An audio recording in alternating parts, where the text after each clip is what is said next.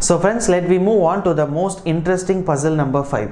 So six people namely A to F live in India and they read newspapers such as Hindu, Times of India. So friends, totally there are six persons, right? And all the six persons are reading a various newspapers and they have clearly told that each person reads exactly one newspaper and no two persons are reading the same newspaper.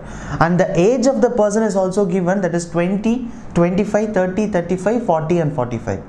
So friends, our target to find who is reading what newspaper and we need to find the age of the person, right? And they have uh, told that the age of the person starts from 20, 25, 30, 35 and 40 and 45. So friends, we can say that the youngest age will be 20 and the eldest age will be 45, right? Okay friends, let me move on to the first point. So B is not eldest. So friends, listen here friends, the point number one is the person B is not eldest. If the person B is not eldest, then we can surely say that B's age will not be 45. So B age will not be 45, right? And uh, they have told that and uh, reads Hindu paper, right? So the B, the person B reads Hindu newspaper, but the person B is not the eldest person, right? Okay point number two. So e's age is more than 30 years and he reads either hindustan times or economic times. So friends listen here friends. The person e is not reading economic times and also hindustan times.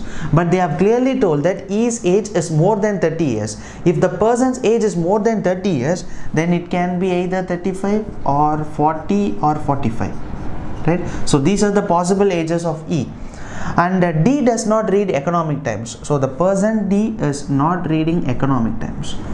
Okay friends, point number 3. So F is not the youngest person friends. If the person F is not the youngest, we know that the youngest age will be 20 and they have clearly told that F is not the youngest person. So we can surely say that F will not be at the age of 20 and uh, C is 35 years old who reads Deccan. So it's a direct statement, right? So C is 35 years old who reads Deccan. So friends, listen here friends. We know that E's possible age will be 35, 40 and 45. Now they have clearly told that C is having an age of 35. So we can definitely say that E's age must be 40 or 45, right? Okay. Next point friends. The total age of E and C is equals to total age of A and D. So friends, I think it's one of the important clue, right? Listen here friends, the total age of E and C is equals to total age of A and D. I think we know what is the age of C, right? So age of C will be 35. Okay. So friends, I think only way is that we need to fix the clue friends because listen here. Uh, I think E age will be either 40 or 45, right? I am just going to assume that E age is 45. If I am thinking that E age is 45, then the total age of E and C will be 80, right? So now our target to find what is the age of A and D that should be equal to 30, right?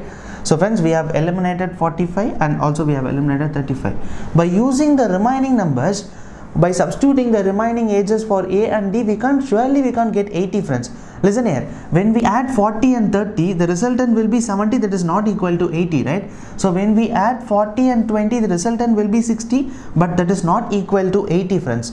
So I can definitely say that E age will not be equal to 45. So I can surely say that E age will be 80 friends.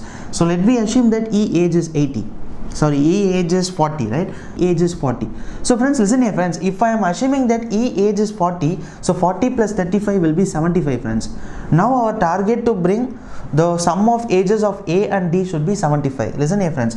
We have uh, assumed that E age will be 40 and 35 will be C right? So the remaining will be 30 45 I think by using the remaining numbers we can easily find 75 is equal to 75 listen here friends. So we can surely say that the remaining numbers are 45 and 30 by using these two numbers we can say that both the ages are equal right? They have given a clue that the total age of E and C is equal to A and D. We know that E can either be 40 or 45 but while substituting E is equal to 45 we are not getting an answer. So while substituting E is equal to 40 now I can say that it satisfies the given clue but we don't know A age is 30 or A is 45 or D age will be 45 or D age will be 30 right. It's little bit confusing friends but let me do one thing let me uh, take it as a note that right so a age must be 45 or 30 similarly d should be 45 or d should be 30 right? Okay let me move on to the next point friends. I think uh, uh, remaining it is not 20 right? So if this is not 20 then only one possible that b should be 20 right? No other way I think uh, only one possible friends. B should be definitely 20 friends.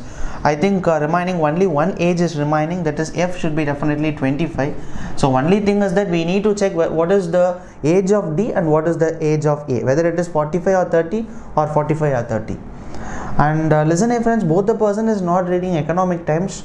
So but we have two possible right no problem. Let me move on to the next point friends. The person who is 25 years old reads times of india. We know that f is the person who is then 25 years old. So we can say that this person is reading times of india right? And the next point is and the eldest person of the group does not read economic times Okay, friends, listen here, friends. The eldest person is not reading the economic times. We know that the eldest person age is 45. So the eldest person is not reading economic times. We already know that the person D is not reading economic times. So we can surely say that the person D must age must be 45 and E is not reading economic times. So friends, if both the persons are not reading economic times, only one possible that economic time should be A, right? So the remaining age 20, 25 so the a age will be 30 right? So the remaining age will be a that is 30 i think uh, we have two newspapers remaining. We already know that the person e is not reading economic times and also hindustan times. So only one possible that hindustan should be read by the person d. And remaining only one paper that is i think uh, uh, remaining papers are indian express. So indian express should be definitely read by e. So friends finally we have uh, solved an interesting puzzle. I think uh, we need to think and solve this area friends or otherwise cracking a puzzle will be so difficult. So try to substitute uh, the ages in the given clue so that you can easily crack this interesting puzzle